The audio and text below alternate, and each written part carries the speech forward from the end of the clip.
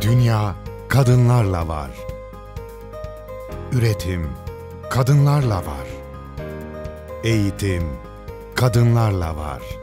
Gelişim kadınlarla var. İletişim kadınlarla var. Yönetim kadınlarla var. 260 kadın çalışanıyla üretimde, eğitimde, gelişimde, iletişimde ve yönetimde Eker kadınlarla var. 8 Mart Dünya Kadınlar Günü kutlu olsun.